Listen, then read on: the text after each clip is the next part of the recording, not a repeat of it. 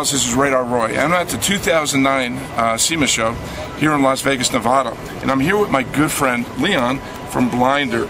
Uh, Leon and his company, uh, the uh, Blinder, manufactures a device that uh, jams police laser.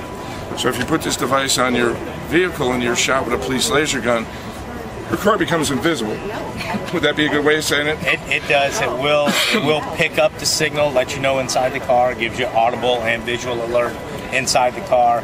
So it lets you know the officer is out trying to give you a speeding ticket, and then it will pick the signal up and send back a jam signal back to the laser gun. And he doesn't pick up anything. No error code, no false reading. He just doesn't pick your speed up. Now, the important thing to uh, realize about a laser jammer, there are a lot of radar detectors that advertise themselves as being laser detectors.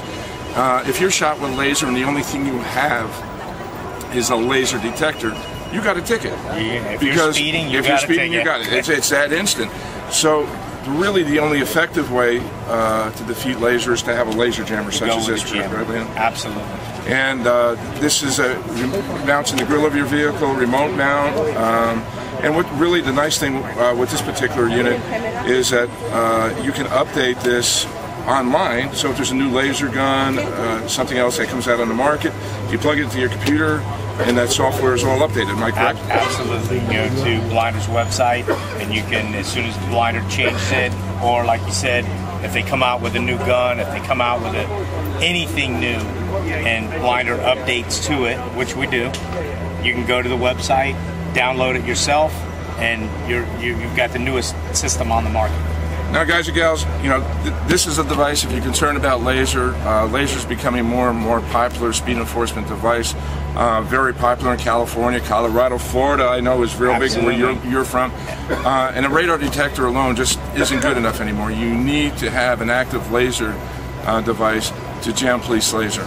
Um, I'm you know aware of this unit. We've tested this unit. It was tested at Speed Measurement Labs. I tested it personally it's it's a fantastic uh, unit, Leon. I really congratulate you taking your product the next step further in uh, having it being able to update.